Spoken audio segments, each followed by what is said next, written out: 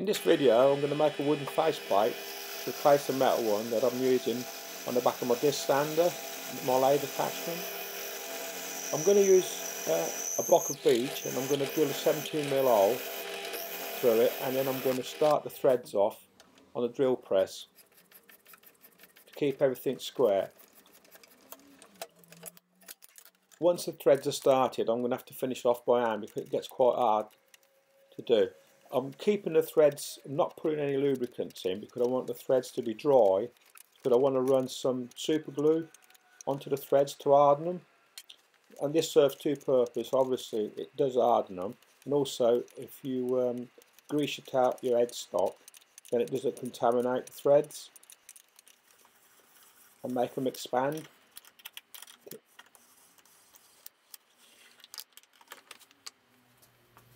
Just going to now run the, the super glue into the into the hole so it covers all the threads. And, I'm not using any any accelerator on this I'm going to just let it dry naturally so, it, so that it coats all the fibres.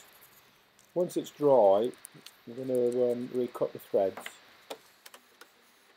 Just recutting the threads now in the video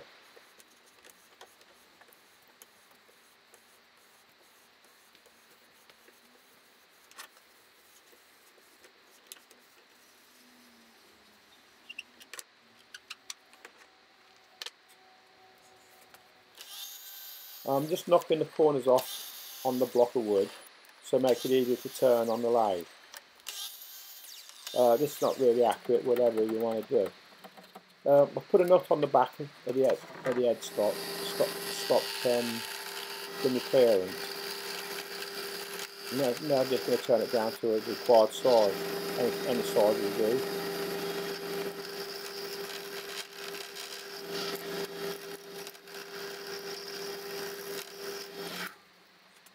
Turned the blank over, now just putting a round on the back edge.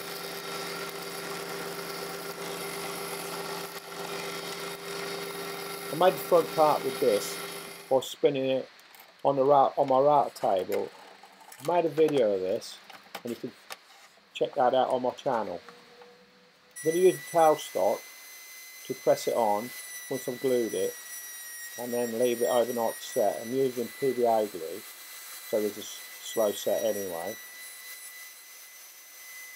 This is the video of uh, spinning the disc. Part or part of the video of spinning the disc,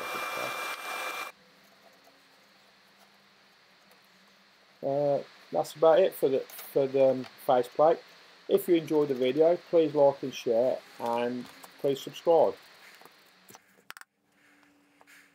I've cut a nut in half as a thread stop for the um, headstock. I didn't want to leave the big nut on, it was too it pushing the faceplate out too far, so I've cut nut in half and um, it's giving me about 5 to 6 mil clearance.